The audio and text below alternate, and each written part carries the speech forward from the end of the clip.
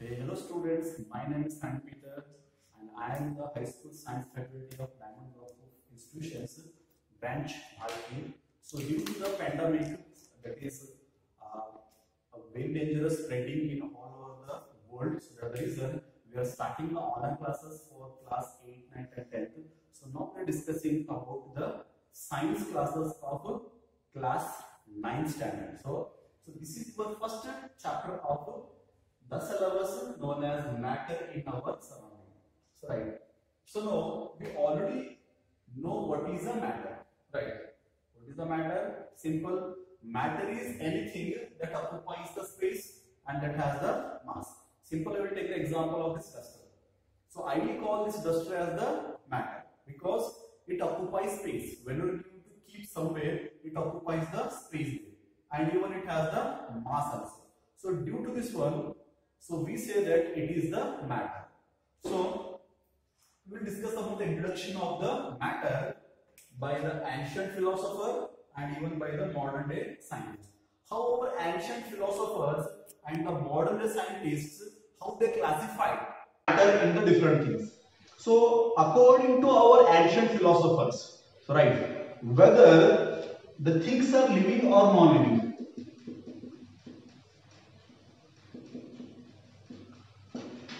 whether the things are living or non-living because our earth has the both living and non-living matters right? Whether the things are living or non-living according to the ancient philosopher they said that they all are made up of the panchatatvas right? Listen carefully. Whether the things are living or non-living according to the ancient indian philosophers ancient Indian philosophers, according to them, whether the things are living or non-living, they all are made up of Pancha Tattvas. Pancha means five. There are five tattvas are there. They all are made up of these tattvas only, which are there: air, earth, fire, sky, and the water. So that is the ancient day classification of the matter. So, but what is the modern day scientist classification about the matters? How our modern day scientist has classified the matters? So, our modern day scientist classified the matters into the two types known as based on the physical properties and the chemical properties. The classification of the matter by the modern day includes based on the physical properties of the matter and the chemical properties of the matter. So on the base of the physical properties of the matter, the matter is classified into the three types. You already know that one. They are known as solid, liquid and gases. So these classification were based on the physical property. Then what is the difference between physical property and the chemical property? The physical property nothing but it is the outside, outside uh, appearance of an element. But what is the chemical properties? It is nothing but the combination of the matters. So, on the physical properties of the matter, there are three types are there, solid, liquid and gas. But on the chemical properties of the matter, again there are three types are there, elements, compounds and mixtures. So, we are not going to read about these all things. So, we are going to study about the physical properties of the matter, nothing but solids, liquid and gases. So now understand by the definition what is the matter and what are the physical properties of the matter. So now what is the matter? Right. Matter is anything that has mass and occupies space. What is the matter? Matter is anything that has mass and occupies space. So right, I will call this board as the matter. This pen as the uh, matter. So means anything.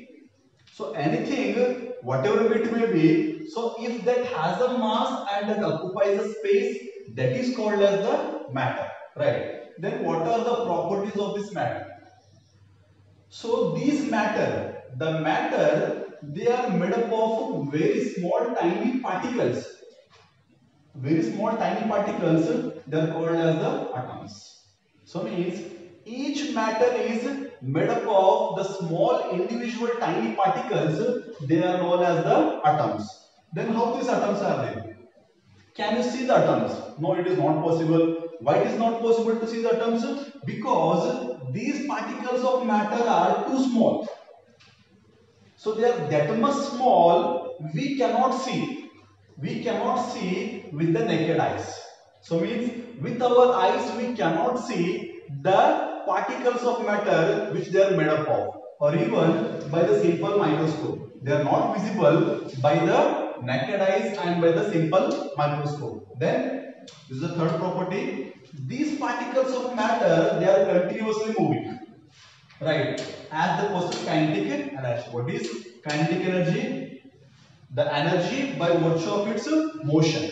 So if any energy is in its motion that is known as the kinetic energy. Then this kinetic energy is possessed by the particles of the matter and as a result they are continuously moving. So right. So how to know that whether the particles of matter are continuously moving? Just take an example. You may be seeing the incense sticks, right? So the incense stick you just burn and keep the incense stick in one of the corner of your house. But as a result, you can see that even the smell comes to you even if you are very far away from that one. So why it is possible? Because the particles of matter they are continuously moving. So there is the reason. What are the properties of the matter? There are the three properties of the matter. There first property is the matter is made up of the small tiny particles. They are known as atoms. And these particles of the matter they are too small. That much small they are, even we cannot see with our naked eyes. Can you see that? By which particle of the matter in the this pen is made up of. We cannot see. I cannot see the particles of this matter because they are very small. They are too small. We cannot see with our naked eyes. And even by the simple microscope, you cannot see them. And these particles of the matter, they are continuously moving, right? They are continuously moving whether as a result, if any energy is in motion, that energy is known as the kinetic energy. The reason they possess the kinetic energy. So now what is meant by the Brownian movement? Right. Or even it is also known as Brownian motion also. What is Brownian movement and what is a Brownian motion? Both are same. So what is the Brownian movement? Right. It is the zigzag or random movement of the particles of matter. So zigzag nothing but whatever way how they are moving we don't know the path is not fixed. It's a zigzag movement. So the zigzag movement or the random movement of the particles of the matter is known as the Brownian movement. If I take this is the particle of a matter, if it is moving zigzagging in any direction, so this is called as the Brownian movement. So now next is the diffusion. Understood? What is the Brownian movement? It is a zigzag or nothing but random direction if they are moving the particles of the matter that is known as the Brownian movement. Then what is the diffusion? The diffusion is nothing but it is the intermixing of particles of two different types of matter on their own. Means any external agency should not be involved there to mix the particles of the matter. If any two different particles of the matter they are intermixing with each other. By their own that is known as the diffusion right? How? Take an example to understand what is the diffusion. Just take a glass of water. Mix it with the a sugar right? So after you can see that both types of the matter they are intermixing with each other. And this intermixing of the uh, matter even become faster by increasing temperature so means the diffusion the rate of diffusion, rate, whenever the rate word comes in a science, it doesn't mean the cost or the price. The rate implies in a science as the speed. Right? Keep in mind. So, the rate of diffusion, the rate of diffusion increases. The rate of diffusion increases with with increase in temperature means the intermixing of the two different type of the matter that become faster when the temperature rises. So means, say you take the example, take a, a cup of water, mix it with the sugar and keep it separately, right? Take again a bowl of water and mix it with the sugar, but just you keep it on the gas flame. You can observe that the mixability of the flame sugar and water that mixes quickly compared to the glass which is kept separately. So it indicates that the temperature influences the intermixing of the particles. Means as the temperature rises or as the temperature increases what happens? The diffusion becomes faster. That the reason the rate of diffusion increases with the increase in the temperature. So what we discussed, what is the matter, right? What are the properties of the matter? And what is the Brownian moment? And what is the diffusion is. So now we will discuss about the characteristics of particles of matter. Very important. The characteristics of particles of matter. What we studied that was the just introduction part of the syllabus. So now we are going to move towards the main portion of the syllabus that is the characteristics of particles of the matter. Then what are the characteristics of the particles of the matter? The first characteristic is the particles of matter, they are continuously moving. Right. Means the particles of matter, they are continuously moving. And the second is they have a space between them. Means even the particles of matter have the space between them. And the third characteristic is they attract each other means there is attractive force is there between two particles of the matter. So these are the three characteristics of the particles of the matter they are very important. So now we will study one by one about the three properties of the matter. So now students will discuss one by one characteristics of the particles of the matter. Which is the first characteristics of the particle of the matter? The particles of the matter continuously moving. They are continuously moving, right? So now, how they are continuously moving? The question is how they are continuously moving. As I said in before only, the particle of the matter they possess the kinetic energy, right? What is the kinetic energy? The energy in motion. Potential means the energy position. So right, as the particles of the matter, they possess kinetic energy, right? What happens? As the temperature rises, the particles faster, they move faster because the kinetic energy increases. Simple, we can understand why the particles of the matter are continuously moving. Simple, why? In a simple way, you can answer that because they possess the kinetic energy, right? Why the particles of the matter they are continuously moving? Because they possess the kinetic energy. So, but what is the condition there? Again, condition is there. So, what is the condition means?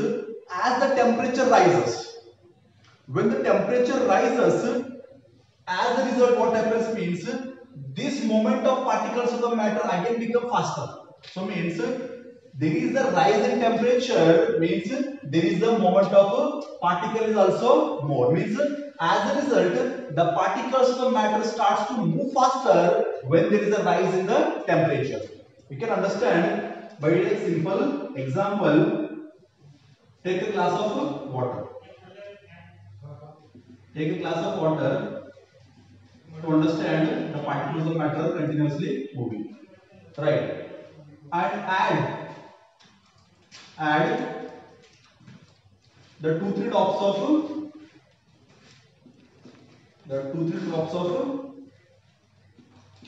ink. So just add two three drops of ink in the water. So when you are going to add the ink in the water, what happens means just do one thing here. So do not shake this glass. Just uh, make the water level as the calm, right? in a steady place, in a steady phase. So right. So in that position, you just add the two three drops of the ink in the water. So what happens means this ink starts to move in throughout the water.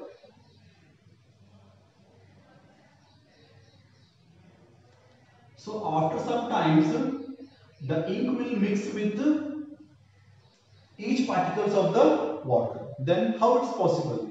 Why it is possible? Because the particles of water, the particles of water, what they possess? They possess kinetic energy, right? The particles of water they possess kinetic energy. As a result, the ink starts to flow all the corners of the glasses, and as a result, the whole glass of water will convert into the color of the ink. So this example showed us that what it shows this showed us that the particles of matter they are continuously moving. Then how the moment is there in solid, liquid and gas, right?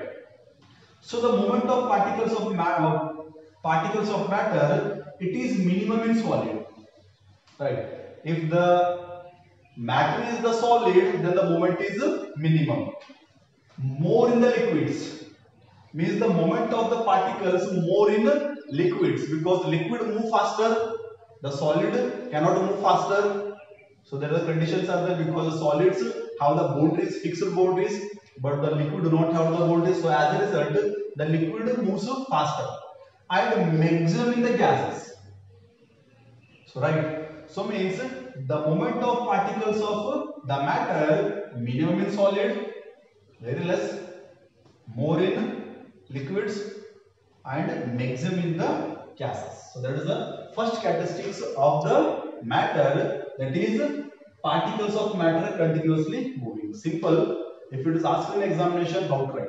Particles of matter continuously moving. Simple. The particles of the matter they possess kinetic energy, right? So when they possess kinetic energy, what happens? Even it depends upon or there is a rise in the moment of the particle of the matter with the rise of the temperature. So right. So you can write it by this. The first characteristics of particles of the matter. We will discuss now the second. So now we will discuss the second characteristics of the particles of matter that is the particles of the matter have space between them. You already studied in the 8th standard that each the three types of the matter they have the space right So if you take solid, liquid and gases. So you can just write the particles of the matter of the solid. The particles of matter of solid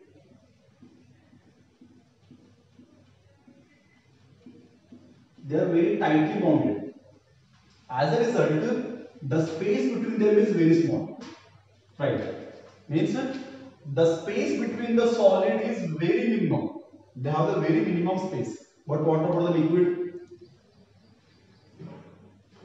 In the liquid,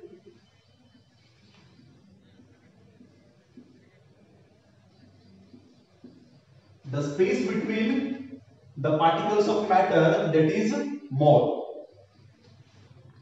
In the gas, in the gas it is maximum. Right. So means minimum in the solid, more in a liquid and maximum in the gas.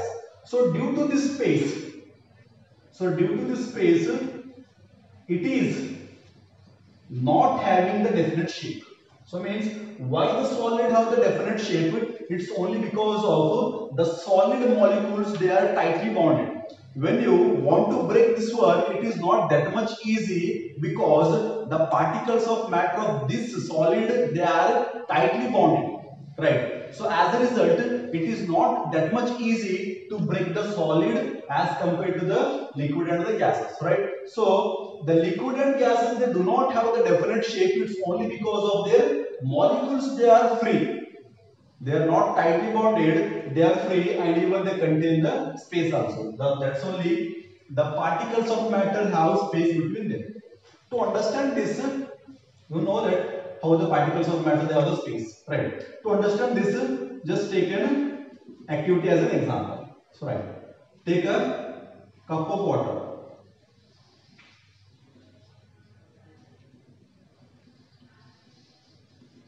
Take a cup of water. So now mark the water level. How much water we inserted? Mark that. The level of the water. So right. So it is the water. So now add 2 spoons of salt or sugar. Salt or sugar.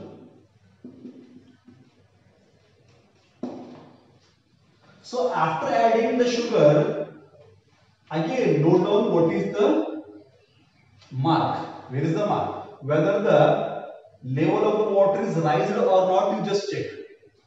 So you do this experiment. So check.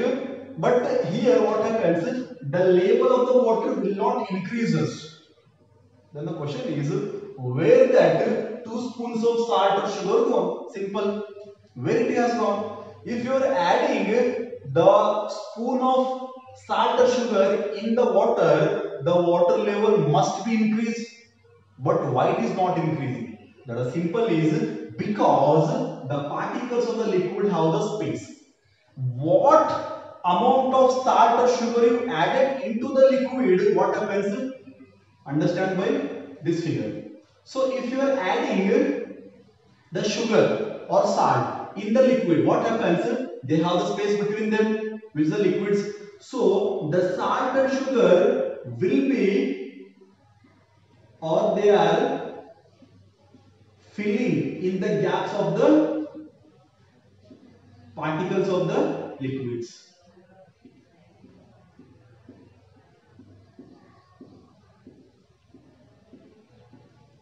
So as a result, what happens?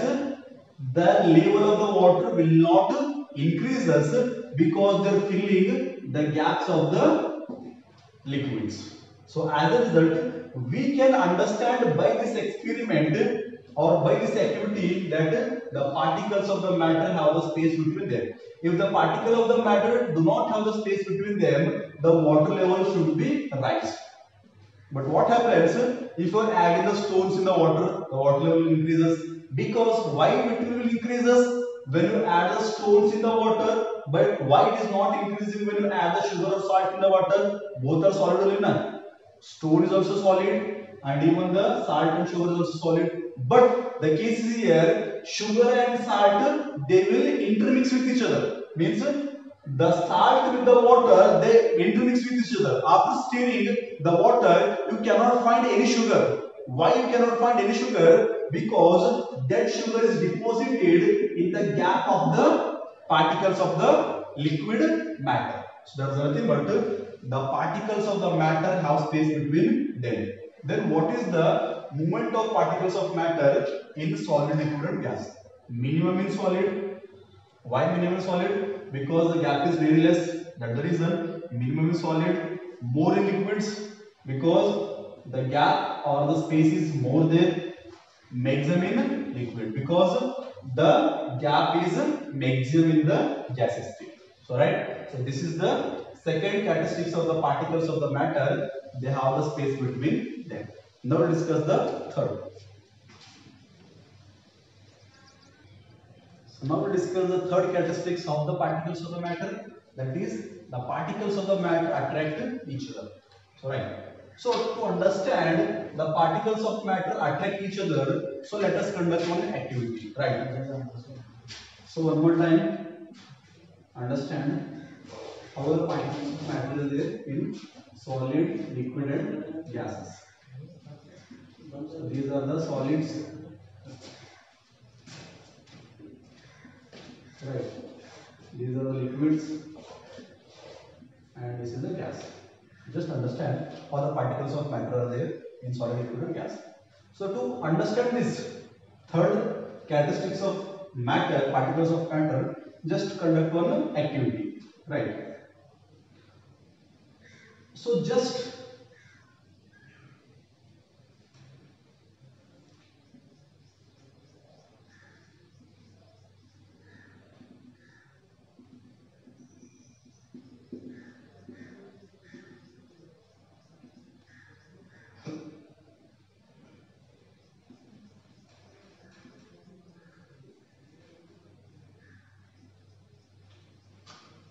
So just see it is a water coming from the tap, right? So now, what happens when the water is coming there? You just put your finger there in the middle of this tap, right? So now what happens means don't keep on its neck or the mouth, so just keep just little little below. So what happens means when you keep the finger here, so the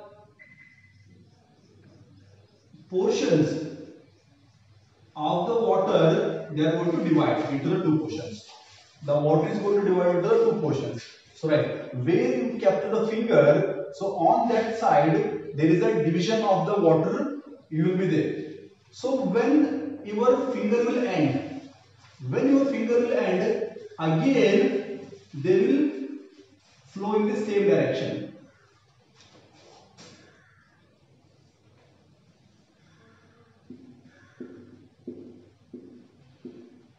So what does it shows? It shows that when you keep kept the finger, the particles they are going to divide, but where the finger is ending, again they are attractive other. It indicates that the particles of water molecule they are attracting each other. So we can understand by this experiment or this activity that is the particle of matter attracting each other. Then what is the force of attraction in solid, liquid and gas? Simple. Whenever the particles are closer, the force will be more. Just take two magnets. When you keep the magnets closer, the attraction will be more. When you keep the magnet away, attraction becomes less. In the same manner, the solid have maximum force of attraction because they are tightly bonded. They are very close. As a result, their force of attraction is very much stronger. You can understand this one by one of the simple game also. Right. So that game in that game you are going to hold the hands. Right. So when you are going to hold the hands, it is not that much easily breakable because they are very closely bonded. So any particle of the matter, if they are closer, means the force of attraction will be more. Intermediate liquids, intermediate liquid nothing but it is not maximum, it is not a minimum, it is middle. So that is called as intermediate. Means in liquid, the force of attraction is not much and not least also. So it will be in the middle.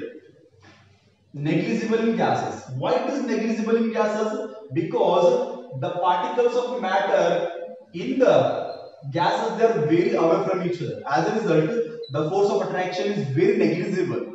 It is negligible means we can say that it is negligible. That much a least amount of the force of attraction will be in the gaseous state. So these are the three characteristics of particles of the matter very important. So we have discussed.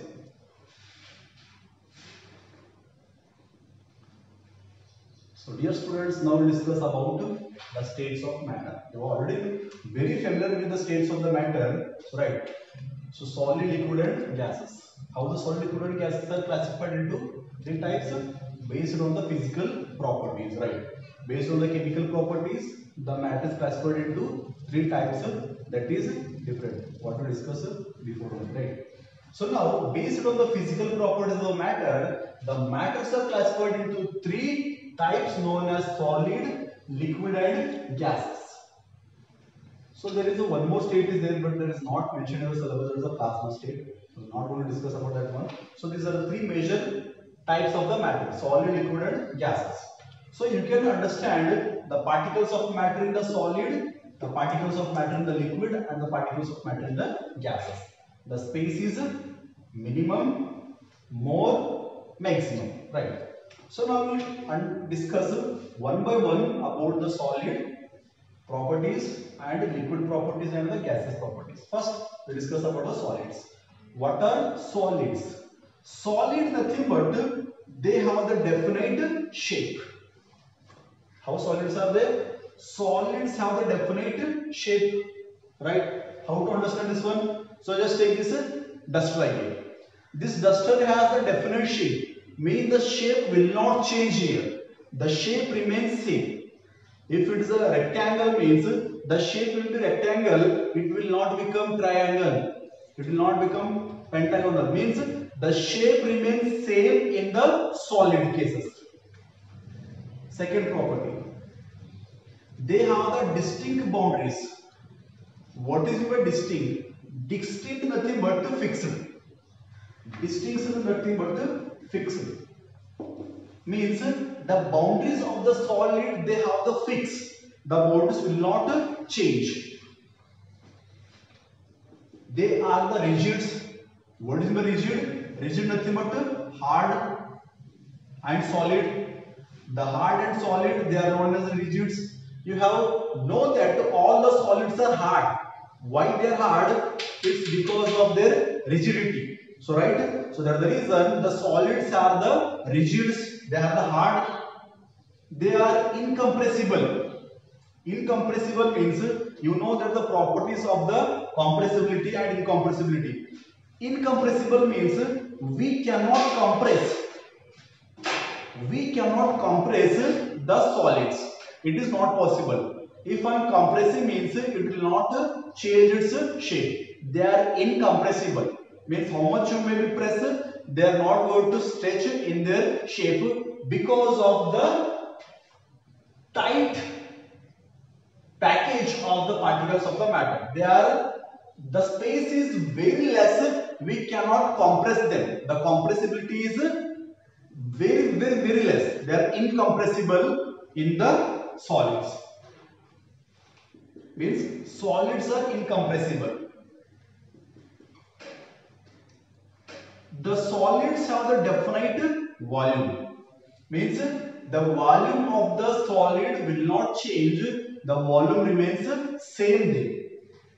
So these all are the properties of the solid. What are the properties of solid? They have the definite shape, they have the distinct boundaries, distinct boundaries nothing but they have the fixed boundaries and they are rigid, rigid nothing but they are hard and solid and they are incompressible, matlab the compressibility is not possible there and they have the definite volume. The volume of the solid will not change there come to the liquids. What are liquids? Now, see here in the figure how the liquids are there. The liquids particles of the matter, they are the space between them. They have the space between them. As a result, they do not have definite shape. If you take the liquids, the liquid do not have the definite shape. Why they do not have definite shape? Because the particles of the matter, they are, they have the space. So then which shape does the liquids have? Which shape does the liquids have? I will take just this example as this a bottle, ink bottle. The ink is liquid here, right? The ink is liquid. When the liquid is added into this shape, the bottle, the liquid taken the shape of this bottle. Matlab, in a simple way, we can understand that the liquids do not have any shape. They will take the shape of the container. means they will take the shape of container they do not have any definite shapes. All the liquids they do not have definite shapes. Second no definite boundaries. Liquid do not have definite boundaries. Why? Because if you are keeping the liquid it is possible that the liquid may flow from one place to the another place. So as a result we say that liquid do not have definite boundaries. Simple. If you keep the duster on the table, it will not move. Why it will not move? Because it, do, it has a definite boundaries. But if you keep the liquid on the floor, it is possible that the liquid may flow from one place to another place. Right. So that is because of they do not have definite boundaries. When they do not have definite boundaries, there is a possible of flowing the liquid from one place to the another place. And the fluidity.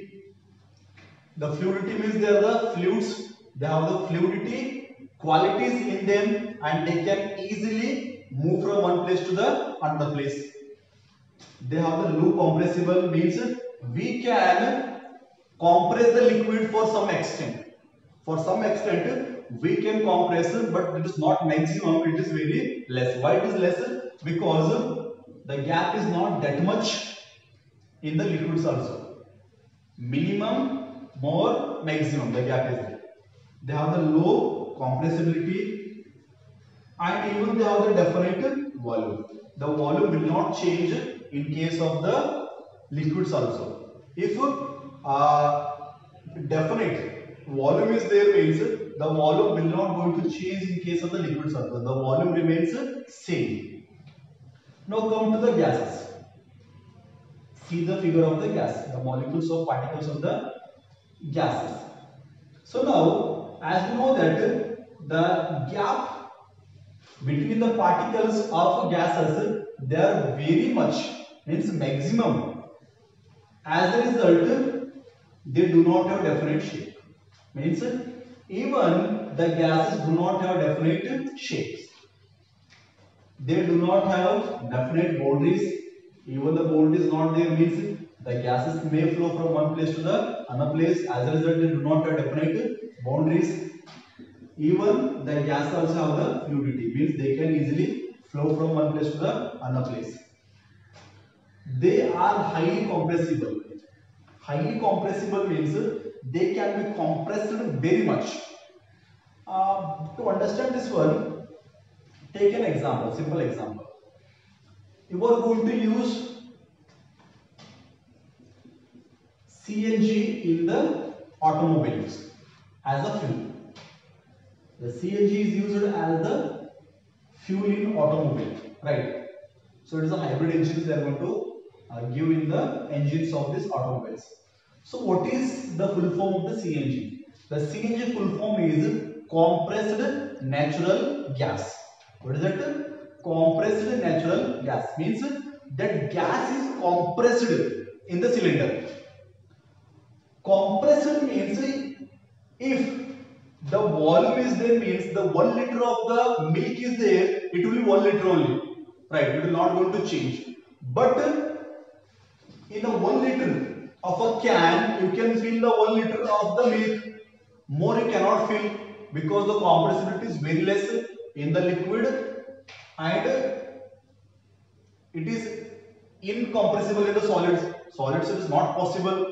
So, due to the high compressibility, we can compress the gas and instead of filling little, we can fill a more amount of the gases in the same containers. That's the reason the gases can be compressed in a very high rate that is called as a high compressible. Means if you are blowing the balloon, you can blow until it will not burst. So means we can compress we can compress the gases. If you taking the same container, you can fill more and more amount of the gases. So that is because of it is highly compressible.